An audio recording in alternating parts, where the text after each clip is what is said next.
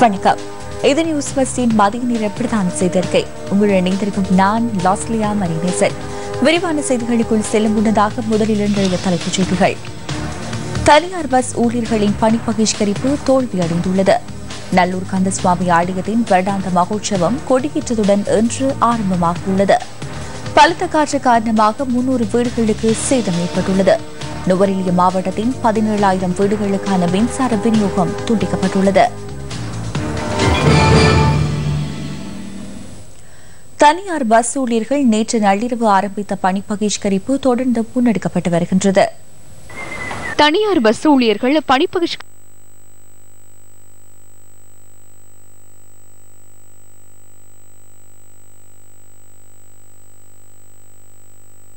தனியார் பஸ்கள் வழமை போன்ற சேவையில் ஈடுபட்டமை எமது கேமராவில் இவ்வாறு பதிவாகியது. தனியார் பஸ் ஊழியர்கள் பணிப்பகிஷ்கரிப்பு காரணமாக காலையிலிருந்து கொழும்பு நோக்கி பயணிக்கும் தனியார் பஸ்கள் சேவையில் ஈடுபடவில்லை. தனியார் பஸ் ஊழியர்களின் பணிப்பகிஷ்கரிப்பு காரணமாக காலையிலிருந்து கொழும்பு நோக்கி பயணிக்கும் தனியார் பஸ்கள் சேவையில் ஈடுபடவில்லை. கண்டி மற்றும் அதனை அண்மித்த பகுதிகளில் பஸ் போக்குவரத்து வழமை போல் இடம்பெற்றாலும் இன்று காலை தனியார் பஸ்கள் குறைவாகவே போக்குவரத்தில் ஈடுபட்டதாக எமது பிராந்திய செய்தியாளர்கள் குறிப்பிட்டனர். போக்குவரத்து குற்றங்களுக்காக அபராதம் அதிகரிக்கப்பட்டமைக்கு எதிர்ப்பு தெரிவித்து தனியார் பஸ் ஊழியர்கள் நேற்று நள்ளிரவு முதல் பணிப்பகிஷ்கரிப்பை முன்னெடுத்துள்ளனர்.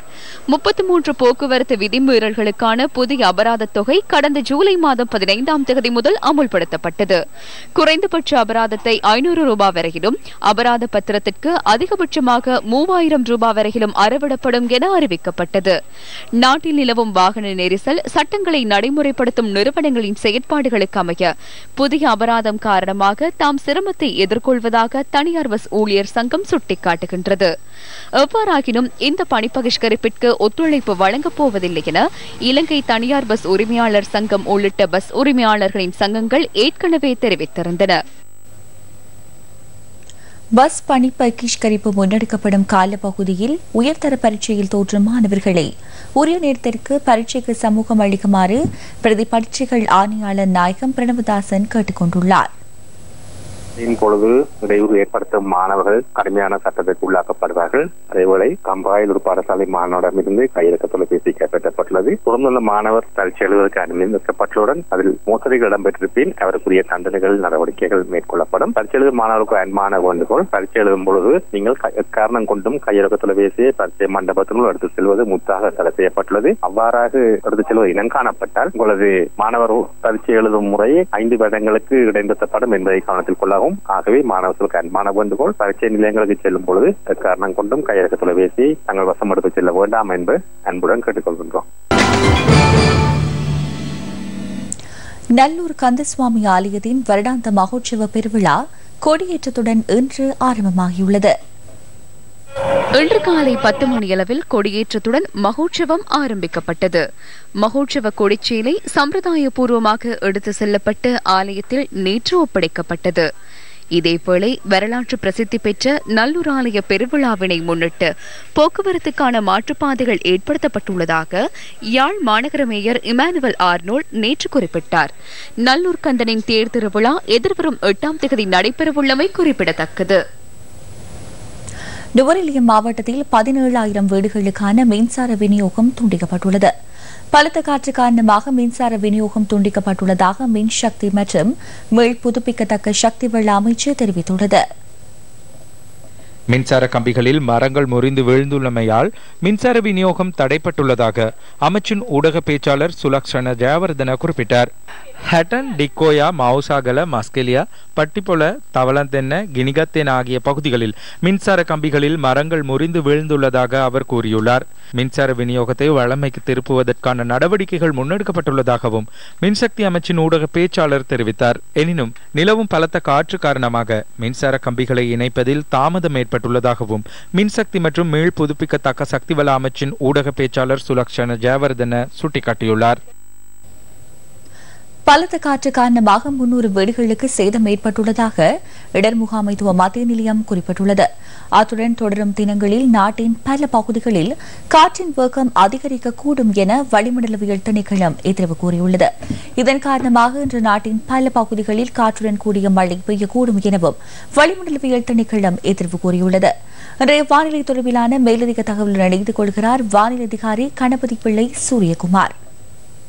காற்றுடன் கூடிய மழை கொண்ட காற்று நிலை நாட்டில் இன்றும் தொடரும் என்று எதிர்பார்க்கப்படுகின்றது. மத்திய சப்தகமுவ மேற்கு வடமேற்கு மாகாணங்களின் சில பகுதிகளிலும் காலி மாத்தரை மாவட்டத்தின் சில பகுதிகளிலும் மழை அல்லது இடியுடன் கூடிய மழை காணப்படும். மத்திய சப்தகமுவ மாகாணங்களின் சில பகுதிகளிலும் காலி களுத்துறை மாவட்டத்தின் சில பகுதிகளிலும் எழுபத்தி ஐந்து மில்லிமீட்டர் மழை வீழ்ச்சிக்கும் அதிகமான மழை வீழ்ச்சி பதிவு செய்யப்படும் என்று எதிர்பார்க்கப்படுவதுடன் குருநாகல் மாத்தளை கொழும்பு கம்பகா மாவட்டத்தின் சில பகுதிகளில் ஐம்பது மில்லிமீட்டர் மழை வீழ்ச்சிக்கு அதிகமான மழை வீழ்ச்சி பதிவு செய்யப்படும் என்று எதிர்பார்க்கப்படுகின்றது வடமேற்கு வடமத்திய வடக்கு கிழக்கு மாகாணங்களின் சில பகுதிகளிலும் மாத்தளை மாவட்டத்தின் சில பகுதிகளிலும் மணித்தளத்துக்கு அறுபது கிலோமீட்டர் வேகத்தில் சற்று பலமான காற்றும் வீசக்கூடும். திருகோணமலை முதல் காங்கேசன்துறை புத்தளம் காலியூடான அம்பாந்தொட்டு வரையான கடற்பிராந்தியங்களில் மழை அல்லது இடியுடன் கூடிய மழை காணப்படும்.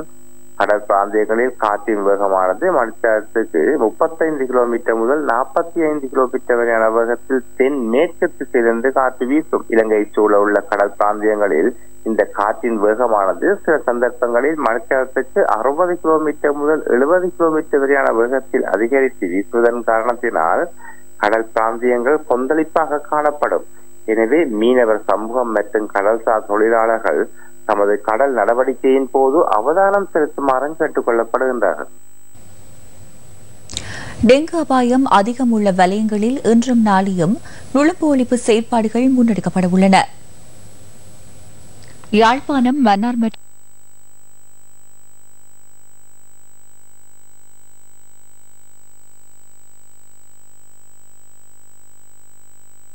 மாவட்டத்தின் இதுவரையான காலப்பகுதியில் டெங்கு காய்ச்சலால் பீடிக்கப்பட்ட நாற்பது பேர் உயிரிழந்துள்ளதாக அவர் மேலும் தெரிவித்துள்ளார். மேலும் மூவாயிரத்து தொள்ளாயிரம் பேர் வரையில் டெங்கு காய்ச்சலால் பீடிக்கப்பட்டுள்ளதாகவும் சமூக வைத்திய நிபுணர் பிரிஷிலா சமரவீர சுட்டிக்காட்டியுள்ளார். யாழ் நெடுந்தீவு கடற்பிராந்தியத்தில் கைது செய்யப்பட்ட இருபத்தி ஏழு இந்திய மீனவர்களும் தொடர்ந்தும் விளக்கமறியலில் வைக்கப்பட்டுள்ளனர். ஊர்காவற்துறை பதில் நீதவான் முன்னிலையில் தமிழக மீனவர்கள் ஆஜர்படுத்தப்பட்டதை அடுத்து எதிர்வரும் இருபத்தி நான்காம் திகதி வரை அவர்கள் விளக்கமறியலில் வைக்கப்பட்டுள்ளனர். பி அறிக்கையை தாக்கல் செய்து மீனவர்கள் நீதிமன்றத்தில் ஆஜர்படுத்தியதாக கடற்தொழில் திணைக்களத்தின் ஜாழ் மாவட்ட உதவி பணிப்பாளர் ஜெயராஜ் சிங்கம் சுதாகரன் குறிப்பிட்டார். இலங்கை கடல் எல்லைக்குள் அத்துமீறி பிரவேசித்தமை தொடர்பில் கடந்த பதினோராம் திகதி தமிழக மீனவர்கள் இருபத்தேழு பேரும் கைது செய்யப்பட்டனர். இந்த மீனவர்களின் நான்கு படகுகளும் கைப்பற்றப்பட்டு தடுத்து வைக்கப்பட்டுள்ளமை குறிப்பிடத்தக்கது. கட்டாருக்கு தொழிலுக்கு சென்றவர்களில் வருடத்தின் இதுவரையான காலப்பகுதியில் இருபத்தி ஓரு பேர் உயிரிழந்துள்ளனர். அவர்களில் பத்தொன்பது பேரின் சடலங்கள் ஏற்கனவே நாட்டிற்கு கொண்டுவரப்பட்டு இறுதிக்கிரியைகள் நிறைவேற்றப்பட்டுள்ளதாக வெளிநாட்டு வேலைவாய்ப்பு பணியகத்தின் வெளிநாட்டு உறவுகள் பிரிவின் அதிகாரி ஒருவர் குறிப்பிட்டார். அண்மையில் இறந்த இருவருடைய சடலங்கள் இதுவரையில் நாட்டிற்கு கொண்டுவரப்படவில்லை என அவர் மேலும் தெரிவித்துள்ளாா் கண்டி உடிஸ்பத்துவ பகுதியைச் சேர்ந்த ஒருவரின் சடலமும் கலிபல பகுதியைச் சேர்ந்த ஒருவரின் சடலமும் இதுவரையில் நாட்டிற்கு கொண்டுவரப்படவில்லை கட்டாரில் சாரதியாக பணிபுரிந்த கண்டி உடிஸ்பத்துவ பகுதியைச் சேர்ந்த ஐம்பது வயதான யூபி முகமது பாயிஸ் என்பவர் கடந்த பதினோராம் தேதி மாரடைப்பால் உயிரிழந்துள்ளார். ஊருப்போக்கவில் அமைக்கப்பட்டுள்ள புதிய பஸ் நிலையம் நேற்றைய தினம் திறந்து வைக்கப்பட்டது. இந்த நிகழ்வில் கலந்து கொண்ட பாராளுமன்ற உறுப்பினர் லக்ஷ்மண் யாப்பா அபேவர்த்தன கருத்து தெரிவித்தார். அரசாங்கத்திலிருந்து விலக வேண்டும் என கட்சியின் தலைவராக பதவியேற்ற போது மைத்ரிபால சிறிசேன தெரிவித்தார். கட்சி அரசாங்கத்திலிருந்து விலக வேண்டும் என தெரிவித்தார். டிசம்பர் மாதம் வரை இருக்குமாறு எம்மிடம் தெரிவித்தார். அவ்வாறே அவர் தெரிவித்தார். ஆனால் பதினாறு பேர் விலகினர் விலகியவர்கள் இன்று எழுபதுக்கும் மேற்பட்டவர்கள் பொது எதிரணியில் உள்ளனர் ஜேவிபியினர் அரசாங்கத்திற்கு எதிரானவர்கள் அல்ல ஜேவிபி மற்றும் யுஎன்பி ஒரே நடவடிக்கையை முன்னெடுத்துச் செல்கின்றனர் டிஎன்ஏ மற்றும் யுஎன்பியும் ஒரே நடவடிக்கையை முன்னெடுத்து வருகின்றனர் ஆனால் எதிர்க்கட்சியாக எழுபது பேர் உள்ளனர் ஒருங்கிணைந்த எதிர்க்கட்சி குழு அமைக்கப்பட்டுள்ளது எமது தீர்மானம் என்ன என்பது தொடர்பில் அந்த குழுவின் அறிக்கை வந்ததும் அது தொடர்பில் தெரிவிப்போம் අපි සාධනව ඇවිල්ලා විපක්ෂ නායකකම ගන්නවා ஆசிய போட்டிகளுக்காக தமது அணி சிறந்த தயார் நிலையில் உள்ளதாக சிரேஷ்ட பேட்மிண்டன் வீரர் நிலுங்க கர்ணாரத்ன தெரிவித்துள்ளார். இரண்டாயிரத்தி பதினெட்டாம் ஆண்டு ஆசிய போட்டிகள் இந்த மாதம் பதினெட்டாம் தேதி இந்தோனேஷிய தலைநகர் ஜெகர்த்தாவில் ஆரம்பமாகின்றது.